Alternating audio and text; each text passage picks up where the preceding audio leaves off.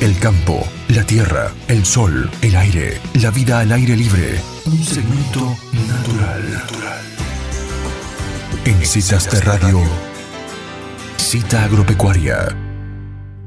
Bueno, y ahora sí en nuestra cita agropecuaria estamos en comunicación con Diego Ruggeri, él es el director de American Garlic. Es una empresa que está eh, localizada en Mendoza y se dedican a producir, a empacar y a industrializar productos de origen agrícola. Eh, bienvenido a Citas de Radio, Diego. Mi nombre es Ángeles Sanz. Ángeles, ¿qué tal? Buenas tardes. Bueno, muchas gracias. Eh. Em, estuvimos viendo tu, la página de ustedes y vemos que el producto, digamos, estrella que producen es el ajo, ¿no? Sí, sí, sí, sí, claro. Sí, el ajo es nuestro primer producto.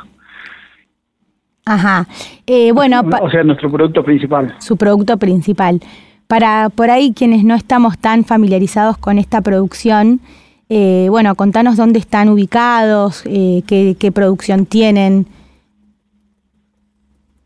Bueno, mira, nuestra planta está ubicada en Guaymallén, en Corralitos. Es una zona muy cerquita de la ciudad de Mendoza. es una zona rural. Ahí es donde tenemos la planta de empaque y nuestra, digamos, nuestras fincas están ubicadas en la zona norte, que es en, en el departamento de La Valle, y otras fincas están también en el Valle de Uco, en la zona de Peluyán y San Carlos. Ahí, eh, bueno, tienen, ¿cómo es, ¿cómo es el cultivo? ¿Cómo, ¿Cómo se arranca con una producción de ajo? En realidad, bueno, eh, las fechas de siembra son finales de febrero y marzo. Depende de la variedad. Eh, se comienza con la siembra, es un cultivo de invierno, invernal, eh, y tarda nueve meses en, en lograr llegar a la cosecha. las variedades tempranas eh, son las, nosotros les llamamos ajos chinos, que son variedades de color, eh, de color violeta. Eh, comienza la, la cosecha a finales de octubre, principios de noviembre, y se extiende por un mes. bueno, ese es el primer paso de la cosecha. Se puede realizar en dos, digamos, en dos formas manual o mecánica. Últimamente, en estos últimos años se ha estado desarrollando bastante esta forma mecánica con, con el avance de la tecnología, se ha logrado un, muy buen rendimiento en, en esta parte, digamos, mecánica, que está reemplazando un poquito la, mano de obra. Que no, no es un tema menor, ¿no? Porque Entiendo que es un cultivo que por ahí requiere en esto de la cosecha bastante mano de obra y, eso siempre trabajar con más gente a lo mejor es, es complicado, ¿no? Sí, es, es bastante complicado. Los últimos años se está teniendo problemas con la mano de obra, no, no es abundante. Entonces, bueno, hay que, como es un periodo muy corto de cosecha, Em, tiene que ser, em, digamos, eh, muy efectiva la, digamos, el, digamos, el cosechar el cultivo, porque em, si no, si, si no se cosecha en, el tiempo que, debe hacerse, eh, se empiezan con los problemas de calidad. Claro. Se empieza a pasar el ajo, empieza a tener a tener problemas que después repercuten en la, en la, digamos, en la calidad final del producto, ¿no? Claro. Diego, ¿y cuál es ese punto de cosecha que ustedes determinan como para, para saber que empieza el tiempo de cosechar? No, es cuando ya el, cuando el, producto está, está terminado, ya tiene todos sus dientes formados, está bien cerrado y con todas las catáfilas ya mm, bien adheridas al, al, a, la, a la pulpa del producto y bueno, ya naturalmente llega, digamos, el ajo llega a un punto de madurez que sí o sí hay que, hay que cosechar. Sí, que, que es en esta fecha que te digo, a finales de octubre. O sea que, bueno, tiene que hacerse la cosecha rápidamente. O sea que ya están a, un mes de empezar a cosechar ustedes. Sí, estamos muy cerquita, sí, sí, sí. sí. Diego, ¿y cuáles son los, los puntos de, de, calidad que se tienen en cuenta? ¿Qué características del ajo son las que se miden eh, para ver la calidad que se tiene?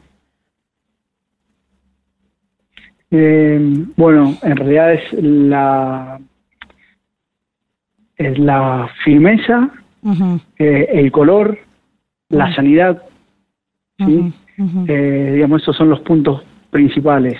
Y después, eh, ¿qué pasa? Em, cuando, uno, cuando uno termina con la cosecha, empieza el, un proceso que se llama post cosecha, que es el secado del producto, ¿sí? Digamos, hay que, hay que, digamos, tiene que salir de toda la humedad que tiene, que tiene el ajo y queda en un estado donde ya se puede empezar a manipular. ¿sí? Se le hace un trabajo de corte, corte de raíz, corte de tallo, que ahí es donde ya va tomando forma el, producto para la comercialización. Después eh, entra el proceso de que nosotros le llamamos pelado, que es que, que eso es, eh, es bastante artesanal porque ese sí no, no es reemplazable, o sea, por lo menos eh, efectivamente, eh, por, por una parte mecánica. Eso tiene que ser sí o sí con, con gente a mano. Claro. Mm. Se, le saca las se, se, limpia, se limpia el producto, se saca las chalas exteriores y ahí, bueno, ya queda con un color, ya queda apto para, para continuar el proceso. Después de ese pelado, va una, a una máquina que se clasifica por calibres, mm. ¿sí?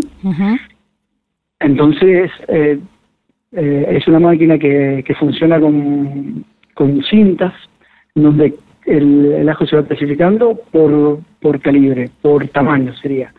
De ahí, bueno, ya va al envase final, que sería una caja, una caja de 10 kilos, eh, o, un envase de cuál el, depende del destino que, vaya a tener el producto.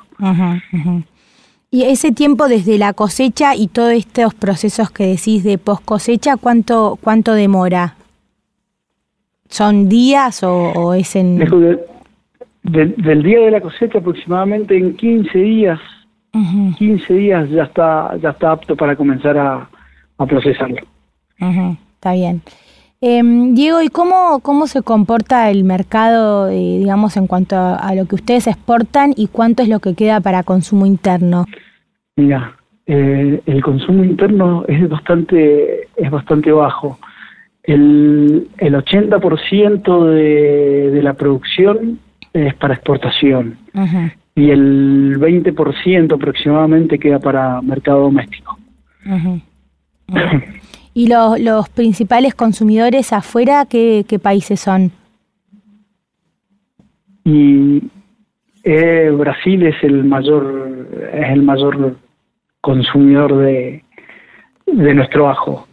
Eh, Brasil, eh, digamos, de ese 80% de la exportación, Brasil se lleva el 60%, mm. ¿sí?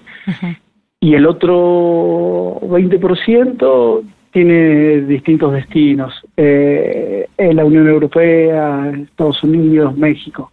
Y ahora para... El principal cliente es Brasil. Es Brasil. ¿Y para estos países tienen algún tipo de, mm, digamos, de, de, normas o de exigencias puntuales para poder entrar? tenemos normas de calidad que cumplimos desde el proceso, desde la... Desde, por normas, eh, normas de calidad y, eh, y certificaciones que, que nos exigen nos exigen los países consumidores, ¿no? Sí, sí, sí. Más, sí. Diego, y en, pensando en todo el ciclo del cultivo, ¿cuál es el, momento crítico, digamos? ¿Cuál es la época en la que tienen por ahí más riesgo el cultivo eh, desde su siembra? En la cosecha. Mm, Absolutamente. Es el momento en donde, como te contaba anteriormente, tenemos eh, tenemos un tiempo un tiempo límite de cosecha eh, entonces, eh, ¿cuál, es, ¿cuál es nuestro riesgo más alto? El tema de las lluvias, ¿sí? Cuando, cuando en el momento de cosecha llueve o tenemos, digamos, demasiada humedad o abundantes lluvias, el, el producto se afecta, se afecta, se pierde alas, eh, se mancha, eh, tiene, tenemos bastantes problemas de, calidad. Y para ese, para ese riesgo tienen algo así, así como existe un, algo con una malla antigranizo o alguna tecnología, ¿tienen algo que puedan minimizarlo o no? En realidad, eh, lo que nosotros tenemos son, son estructuras de, de secado, ah. son, ¿cómo te puedo decir? Em, son líneas eh, horizontales, ¿sí? Eh, y, y, entonces cuando cosechamos vamos vamos colocando eso digamos, todo el, ajo sobre esos sobre esos caballetes.